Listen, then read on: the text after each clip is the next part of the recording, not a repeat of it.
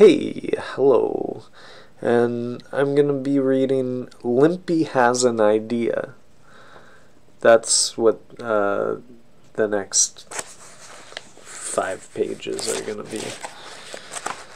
Limpy has an idea.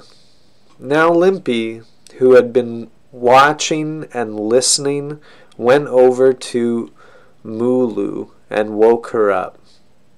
When she heard the story, she almost cried. We've got to do something, said Limpy.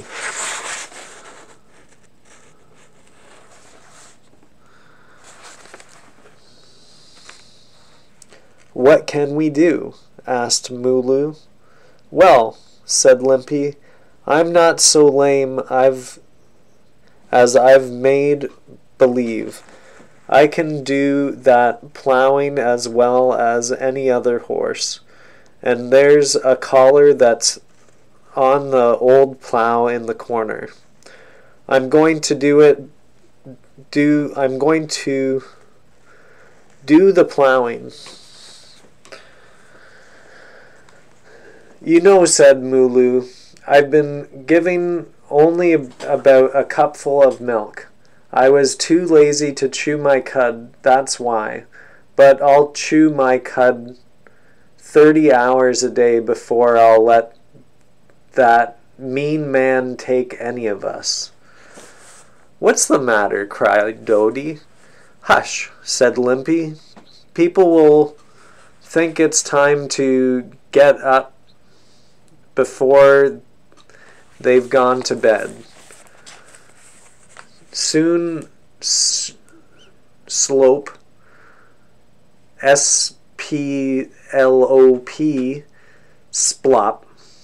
Soon Splop came tumbling over when she was to see what had happened. She was so noisy about it that she woke up Mimkin and Chuckluck, but not Pugwug. That pig could sleep through anything. Say, said Slop, Splop, if that old penny, if that old pepper box ever tries to do, to take me away from Mr. Penny, I'll butt him so high that he'll never come down. Children's books are sometimes just made up of like a bunch of different names, which is entertaining. Oh, hush. Don't talk nonsense, said Limpy. Or did they? We damage his garden and we have to pay. What work do you choose? I don't choose any, said Plop. Splop? Of course. of course. It has to be done. I'll clean out those old stones. I'll cut the lawn, said Mimkin. I'll lay bigger eggs, said Chuckluck. Splop shook her horns in front of Dotty. What good is a rooster without a tail? she asked. All he can do is eat bugs. that gave Limpy an idea. Dodie could follow the plow and save all the worms. Mr. Penny never had enough worms at his stand outside the fence for the men who came from the city to fish. Well, come on, said Splop. Let's go. Limpy looked through the hole. Mr. Penny had fallen asleep with his head on the table. Limpy looked out the window. Everything was black, so he let Splop run ahead to open the gate. Forget, forgetting he ever felt lame, Limpy hurried to get the plow. He pushed his head through the collar and handled the plow quite easy. Oh, I almost forgot, he said. When we went over to Pugwug and woke him up, I need something heavy to hold the plow down. Come. Out they went into the dark, all but Mooloo and Chuckluck, who stayed behind, one to chew her cud and the other to eat some food. All through the night, Mr. Penny said that sat by his table and painfully tried to think. Um, whenever he fell asleep, his dreams woke up. When morning came, he still didn't know how to save his animals. He went back to look at them. Then he put his stool down beside Mooloo and started to milk. Mooloo! cried Mr. Penny. After a few minutes, instead of a cupful of milk, there was a whole bucketful. He jumped back and threw his arms around Mooloo's neck. Good Mooloo, he explained. If only you knew how much I need this milk. The chickens were squawking, crowing, trying to make him look. He went to see if by chance Chuckluck had an egg for him. Bending down, he looked closely at something in the straw. There was an egg, a large goose lay, and a can full of beautiful worms. There's a photo of them with his milk can beside his body there, looking out onto the farm. Mr. Penny cooked an egg, the egg for his breakfast. Then ran. Hey, uh, there we go. We got a another premiere showing you around this room. Then he ran out and put the worms on his stand, where he sold them like newspapers. They were two for a penny, and he left a box for money.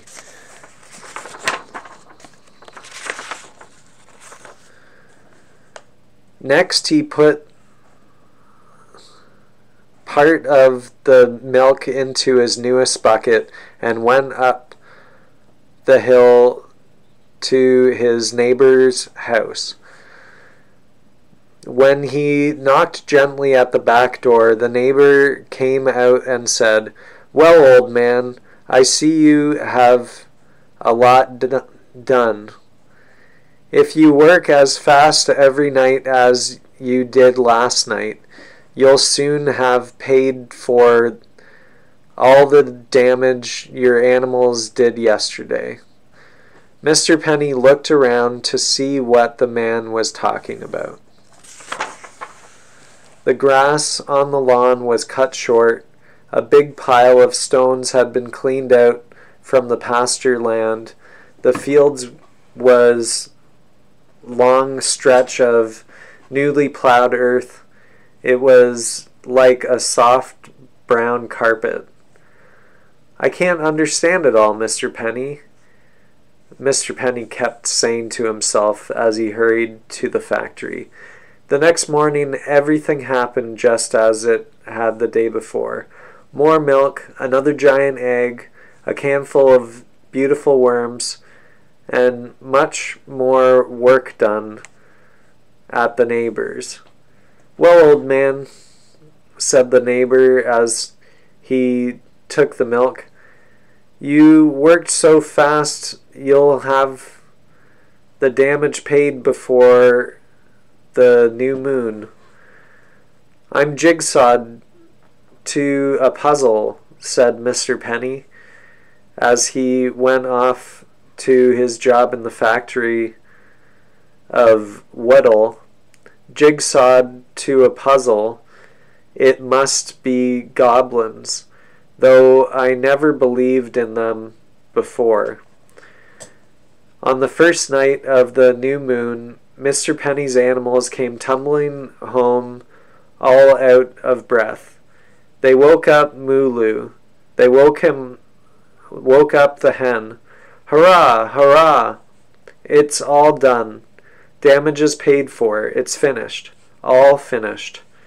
Now what? said Splop, kicking up her heels as frisky as cold. I like to work. Me too, said Mimkin and Dotty. Limpy pulled the plow to its place in the corner and slipped his head out of the collar.